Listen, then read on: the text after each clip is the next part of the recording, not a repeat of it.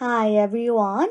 Good day! In this video, I'll be teaching you how to save a video in CapCut. Okay, first things first, open the CapCut app and start a new project by selecting a video. Add then any desired effects or edits to your video. To save your project within CapCut, just tap on the X icon at the top left corner. This will save the project exactly as it is. So, you can continue working on it later.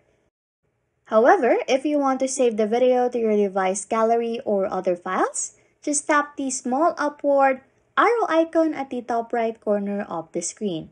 CapCut will then begin exporting the video on its own. Anyways, if you like content like this, don't forget to subscribe to this channel or comment down below any tutorials you want us to make. So, we can help you. And that's it. You can now save a video in CapCut. Thanks for watching and happy scrolling.